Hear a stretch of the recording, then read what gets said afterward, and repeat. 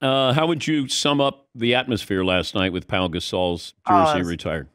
Yeah, it was awesome. Um, you know, first of all, like there was uh there's people who came back, right? So there was, you know, it was it was great to see Phil Jackson up on the up on the video board. He did a video message for him. He was he stayed mostly in a suite, but we haven't seen Phil in a lot of years here, so that was that was cool seeing him. I saw his whole um uh, the the entire Spanish media was there, right? Um they were uh, I think I got interviewed by seven outlets from Barcelona uh, because he really is a national hero there. But I that was interesting, Dan, because he you know, he only played seven years for the Lakers, right? And they won two titles in those seven years. Uh, but he was universally beloved.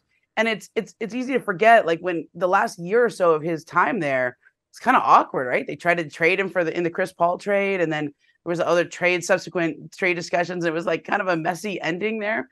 Um, and so, but he's he's sort of right back into the family now. And I thought it was appropriate. His his jersey is right next to Kobe and right below James Worthy's um and it's like that's the kind of player Pau was like he was um he was such a, a gentleman such a great complimentary player to Kobe like you could not have designed a better complimentary player for Kobe Bryant than Pau Gasol. And like the one thing I always remember uh, he when they traded for him like the Lakers never did midseason trades never because the, Bill ran the triangle.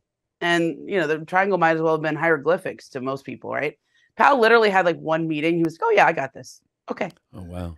because he's so smart and and I think that basketball IQ and and with him and Kobe in terms of their basketball IQ running the triangle it was just a seamless fit and um it was great it was great seeing there he had his two little kids he had like the baby there and then randomly at the end this is like such a random note but it was it was like something that sticks out to me Jimmy Butler came over I know. I know. okay and I and I remember I was like doing the math I'm like wait the Heat played in Miami last night and they have a game against Cleveland tomorrow night in Miami. so did Jimmy just fly? Who Jimmy played with Pau in Chicago, obviously. Did Jimmy just fly on the off day to like give Pau a hug? That's pretty cool. amazing.